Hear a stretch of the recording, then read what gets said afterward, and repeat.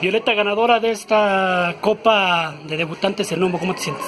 Muy contenta, este, muy satisfactiva con la lucha y pues creo que el público, aunque no me conoce, creo que va, va a conocerme ahora más que, pues para mí la Copa fue muy, muy importante, pero más la oportunidad que me dieron por este campeonato.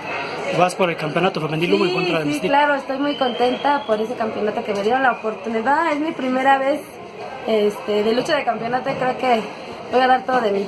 Una lucha muy importante en tu carrera. Sí, claro, es una oportunidad que nunca me habían dado y la empresa Humo me la da y pues no lo voy a decepcionar ni a Humo ni a los aficionados que creen en mí. A todo el público, ¿qué le puedes decir? Pues yo les quiero decir que muchas gracias a todos por apoyarme, los que vinieron a verme, mi madre, mi hija, a mi esposo que siempre me apoya, a Dios primero que nada porque me da la vida y estoy muy contenta.